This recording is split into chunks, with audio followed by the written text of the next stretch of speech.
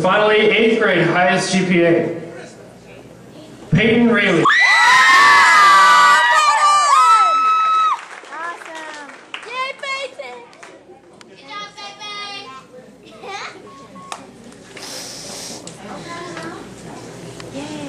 Our next award is the Director's Award. And that goes out to the person that did their best at practice, came on time, wasn't a problem, helped the others. And this year's Director's Award goes to Rebecca Brown.